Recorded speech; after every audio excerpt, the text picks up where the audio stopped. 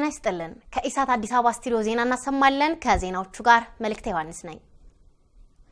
ለታላቁ የህዳሴ ግድብ ግንባታ የተመደበው ጊዜ የተጣበበ እንደነበረና ዝርዝር ዲዛይንን ከግንዛቤ ያላስገባ መሆኑን የግንባታው ዋና ስራ አስኪያጅ አስታወቁ።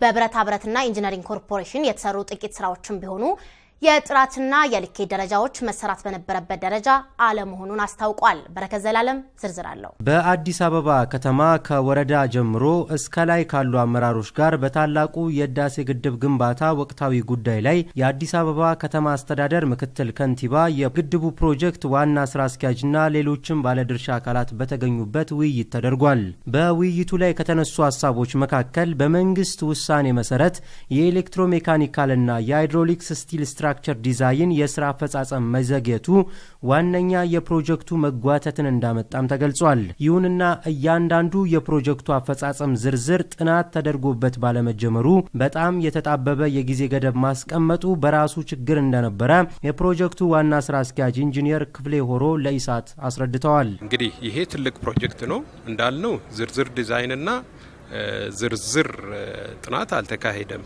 ስለዚህ እንደዚህ ይህን የሚያክል ግዙፍ ፕሮጀክት ትልቅ ስራ በአራት ዓመት ውስጥ ማመንጨት እችላለሁ ብሎ ማቀድ ከመጀመሪያው ከእቅዱ ላይ ስህተት አለ ነው።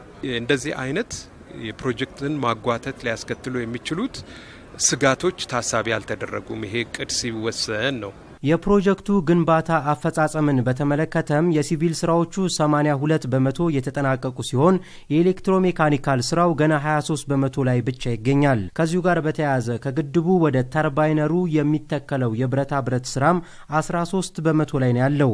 በመሆኑም አጠቃላይ 65 ከመቶ ላይ የሚገኘውን የግንባታ ውጤት ነባር ችግሮቹን በማረምና ቀጣይ ችግሮችን አስቀድሞ በማጤን እንዴት ግንባታውን ለማስቀጠል እንደታሰበ ኢንጂነር ክፍሌን ጠይቀ ናቸው ነበር። በግድቡ ውስጥ የሚተከሉ ማንኛውም ነገሮች ዘላቂነት እንዲኖራቸው የመቶ ዓመት ዕድሜ እንዲኖራቸው በጥራት እንሰራለን ነው። ብዙ ጊዜ የጥራት issue ስለሚነሳ ለማረጋገጥ ነው። በብረታ ብረት እና ኢንጂነሪንግ ኮርፖሬሽን ከዚህ በፊት የተሰሩትን በተመለከተ በሪፖርቱ ላይ እንደተገለጸው የብረታ ብረት ስራን በተመለከተ እኮ 13 በመቶ ነው የተሰራው እስካሁን ይሄም 13 በመቶ ላይ አንዳንዶቹ ላይ የልኬትና የጥራት ችግር አለ። ይሄ ነገር ተጠንቶ ያው ተጠንቶ አስፈላ አሁን ተጠንቶ ጥናቱ ሁሉ አልቆ መስተካከል የሚገባቸው ይስተካከላሉ፣ የሚቀየርም ደግሞ ይቀየራል።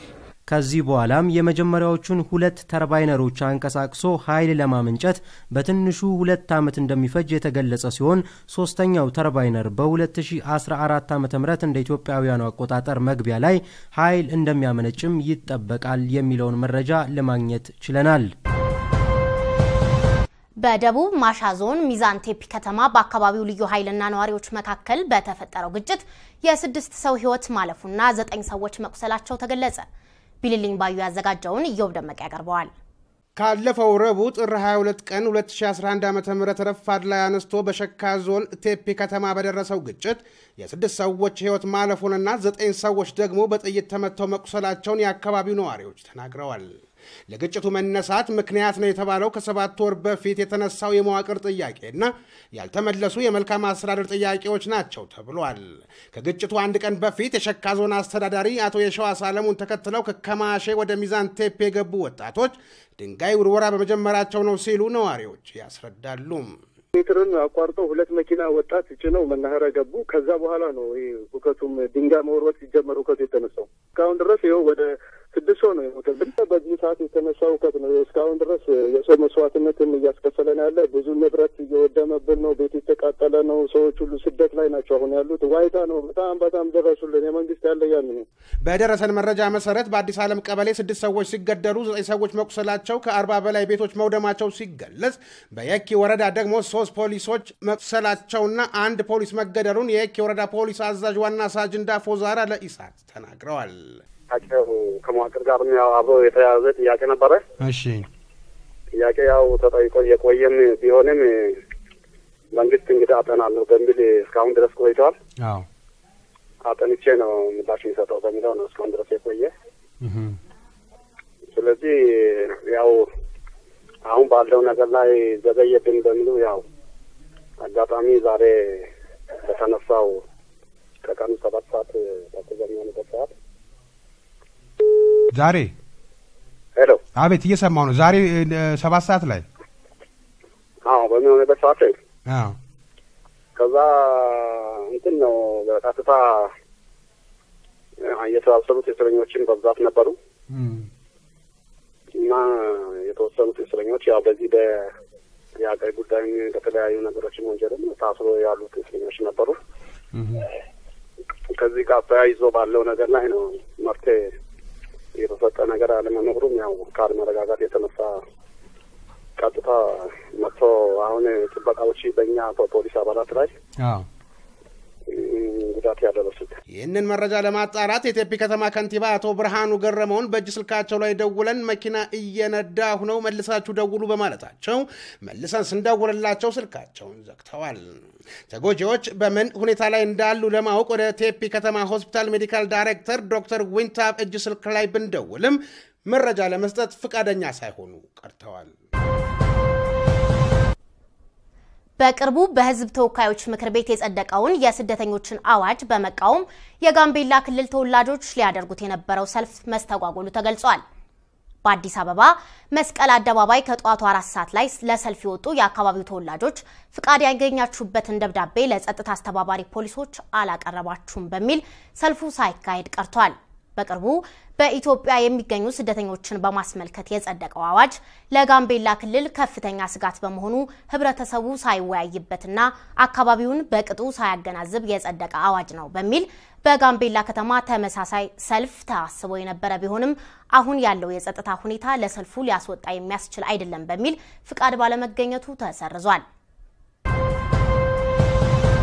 የጥረት ኮርፖሬት ምክትል ዋና ስራ አስፈጻሚ የነበሩት አቶ ምትኩ በየነን ጨምሮ አራት ሌሎች ተጠርጣሪዎች በዛሬው ዕለት በቁጥጥር ስር ውለዋል።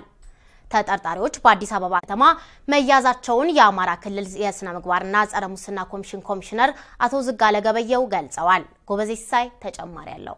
የጥረት ኮርፖሬት መዘዝ ዛሬም አላቆመም። ሁለቱ አድራጊ ፈጣሪ በረከት ስምኦንና ታደሰ ካሳን ተከትለው ምክትል ዋና ስራ አስፈጻሚ የነበሩት አቶ ምትኩ በየነ በሕግ ቁጥጥር ስር ውለዋል። ሌሎች አራት ተጠርጣሪዎችም በአዲስ አበባ ከተማ መያዛቸውን የአማራ ክልል ስነ ምግባርና ጸረ ሙስና ኮሚሽን ኮሚሽነር አቶ ዝጋለ ገበየሁ ገልጸዋል። አቶ ምትኩ በየነ በየዳ ኬሚካል sustainable ኃላፊነቱ የተወሰነ የግል ማህበር ለተባለው ድርጅት ከአክሲዮን ድርሻ በላይ ክፍያ በመፈጸምና ያልተፈቀደ ብድር እንዲከፈል በማድረግ ተጠርጥረው መሆኑን ኮሚሽነሩ ገልጸዋል። ወይዘሮ አይናለም ኃይሉ፣ ወይዘሮ ኢየሩሳሌም ብርሃኑና ወይዘሮ ቤተልሔም ብርሃኑ የተባሉ ሶስት ተጠርጣሪዎች ደግሞ ኮርፖሬሽኑ ምንም አይነት የካፒታል እድገት ሳያሳይ 220 በመቶ ጨምሮ በተፈጸመው የአክሲዮን ግዢ 320 ሺህ ብር ለግላቸው አውለዋን በሚል ክስ ተጠርጥረው መሆኑን ታውቋል። ሌላው የባህር ዳር ሞተርስ መገጣጠሚያ ኃላፊነቱ የተወሰነ የግል ማህበር ባለቤት አቶ ግዛቸው ዘውዱ ኮርፖሬሽኑ ባደረገው የአክሲዮን ግዢ ያልተገባ ጥቅም አግኝተዋን በሚል ተጠርጥረው በሕግ ጥላ ስር መዋላቸውን የአማራ ክልል ስነ ምግባርና ጸረ ሙስና ኮሚሽን ኮሚሽነር አቶ ዝጋለ ገበየው ገልጸዋል። የኢትዮጵያ ደረጃዎች ኤጀንሲ በደረጃዎች አጠቃቀምና በውሃ ደረጃ ትግበራ ዙሪያ ስልጠና ሰጠ። በስልጠናው በውሃ አመራረትና አጠቃቀምን በተመለከተ የግንዛቤ ክፍተት እንዳለ ተጠቁሟል። ብሩክ ሽመልስ ተጨማሪ አለው። የኢትዮጵያ ደረጃዎች ኤጀንሲ የሀገራችን ምርቶችና አገልግሎቶች ደረጃቸውን የጠበቁና ዓለም አቀፋዊ ተወዳዳሪ እንዲሆኑ በብሔራዊ ደረጃ ደረጃዎችን የሚያወጣና የስልጠናና የቴክኒክ ድጋፍ አገልግሎት የሚሰጥ ተቋም ነው። ብሔራዊ የደረጃዎች ምልክት የመጠቀም ፍቃድ ይሰጣል፣ አተገባበሩን ይከታተላል። ኤጀንሲው በውሃ ኢንዱስትሪው ላይ የሚስተዋሉ ችግሮችን ለመቅረፍ የሚያስችልና የውሃ ደረጃዎች አተገባበር፣ የብሔራዊ ደረጃዎች ምልክት አጠቃቀም፣ በአመራረት ወቅት ሊደረግ ስለሚገባው ጥንቃቄ፣ በማከፋፈል ሂደቱ ወቅት መደረግ ስላለበት አያያዝ፣ አተሻሸግና ተያያዥ በሆኑ ጉዳዮች ላይ ያተኮረ ስልጠና ሰጥቷል። የኤጀንሲው ዋና ዳይሬክተር አቶ እንዳለ መኮንን በውሃ አያያዝ ዙሪያ ያሉትን ችግሮችና የስልጠናውን ዓላማ እንደሚከተለው አስረድተዋል። እንግዲህ አንድ የውሃ ምርት ታሽጎ ከፋብሪካ ከወጣ በኋላ የተለያዩ አከፋፋዮች አሉ፣ ለህብረተሰቡ የሚያደርሱ የሚያጓጉዙ ደግሞ እንደዚሁ የትራንስፖርት service የሚሰጡ አሉ። ስለዚህ በሚጓጓዝበት ወቅት በጣም በከፍተኛ የፀሐይ ብርሃን ተጋላጭ ሆኖ በአቧራ በፀሐይ እንዲሁም ደግሞ በሌሎች environmental conditions ውስጥ አልፎ ነው ለተጠቃሚ የሚደርሰው። ሌላው ደግሞ በቸርቻሪዎች ወይም ደግሞ በትንንሽ ሱቆችም አካባቢ ያው የቦታ ጥበት ሊሆን ይችላል፣ ማስቀመጫ የማጣት ሊሆን ይችላል። ግን በአብዛኛው ለከፍተኛ የፀሐይ ብርሃን ተጋልጠው የሚሰጡበት ሁኔታ ነው ያለው። ከዚህ ይህን አስመልክቶ እንግዲህ ማምረቻ ተቋማት፣ ተቆጣጣሪ አካላት እንዲሁም ደረጃውን ያወጣው አካል ሌሎችም እንደዚሁ የባለድርሻ አካላት የአንድ ተቋም ስራ ብቻ ሳይሆን ይሄ እስከ መጨረሻው አዌርነሱን የመፍጠር ወይም ደግሞ ግንዛቤ የመፍጠር በህብረተሰቡ ዘንድ በአከፋፋዮች፣ በቸርቻሪዎች ዘንድ ግንዛቤውን ለመፍጠር ስለተፈለገ ነው። በዋናነት ግን ችግሮቹ በቃ ተገቢ የሆነ የማጓጓዣ ስርዓት ተገቢ የሆነ የማከማቻ ስርዓት ባለመኖሩ ይህን ግንዛቤ ለመፍጠር ነው። ሀገራችን ኢትዮጵያ የውሃ ማማ ሆና ሳለ በዘርፉ ልናገኘው ይገባ የነበረው የውጭ ምንዛሬ ማግኘት አልቻልንም። በተጨማሪም የድርጅቱ ምልከታ እንደሚያሳየው ከሆነ በሀገራችን የሚኖሩ የውጭ ማህበረሰብ አካላትና የዲፕሎማቲክ ተቋማት የመጠጥ ውሃ ከውጭ ሀገራት በማስገባት ይጠቀማሉ። ኢትዮጵያ አዲስ አበባ በተለይ እንግዲህ የአፍሪካ መዲና ነች።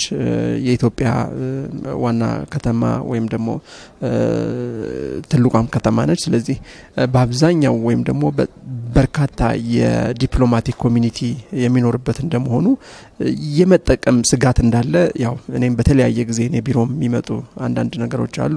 በተለያየ አጋጣሚ በማገኛቸው እንግዶችም እንደዚሁ የእኛን ውሃ የመጠቀም ስጋት ነገሮች አሉ። ያ ደግሞ አመራረታችን፣ የትራንስፖርት system አችን፣ የምንሸጥባቸው ቦታዎች ተጋላጭነታቸውን በማየት ሊሆን ይችላል የሚል እንትን አለኝ ከዚህ ከዚህ አንጻር። ስለዚህም ከዚህም ጋር ተያይዞ ቢያንስ በሀገር ውስጥ ያሉ የ diplomatic community የእኛን ውሃ መጠቀም እንዲችሉ ማምረቻ ተቋማት ግንዛቤ እንዲወስዱም ለማድረግ ነው ማለት ነው። ኢትዮጵያ ያላትን የውሃ ሀብት በተገቢው እንድትጠቀምና የውሃ ደረጃዎችና ተያያዥ ችግሮች በአግባቡ እንዲፈቱ ምን መደረግ አለበት ስንል የጠየቅናቸው የኢትዮጵያ ደረጃዎች ኤጀንሲ ዋና ዳይሬክተር የሚከተለው ብለውናል። በጥንቃቄ ማምረት መስራት፣ product ን ደግሞ more diversify ማድረግ። አሁን ውሃ አንድ ብቻ አይደለም፣ ብዙ አይነት የውሃ አይነቶች አሉ። ማለት ብዙ አይነት የውሃ አይነት ስል ለምሳሌ ጋዝ ያለው የሌለው፣ sparkling water አለ፣ still water ተብሎ በ category የሚለይ አለ፣ flavored water አለ፣ flavored ተደርጎ የሚወጣ ማለት ሰዎች ሲጠጡት ብዙ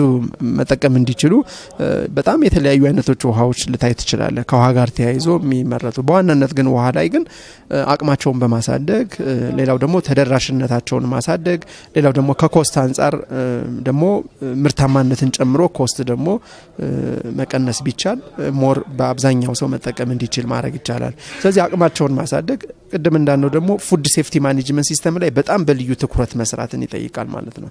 ምክንያቱም safe የሆነ ደህንነቱ የተጠበቀ ጥራቱን የጠበቀ የውሃ ምርት ለህብረተሰቡ ማቅረብ አለብኝ ብሎ በጣም በልዩ ትኩረት መስራትን ይጠይቃል ማለት ነው።